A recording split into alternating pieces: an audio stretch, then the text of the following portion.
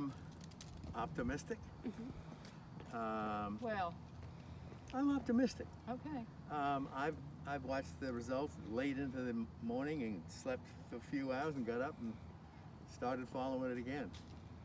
Uh, I think we're probably going to set a record for the number of people, percentage of population who who voted this time. That's good.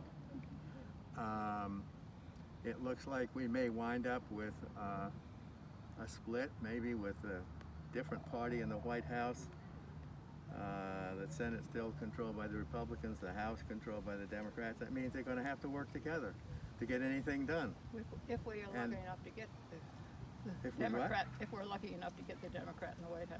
Well, that's right. But I mean, the the latest that we heard today, this afternoon, was that if uh, Joe Biden wins the, the states that he's leading in, he won't even need Pennsylvania, which is his home growing up state. So, I mean, that's I, I I'm optimistic about that. Um, I'm I'm optimistic in terms of the.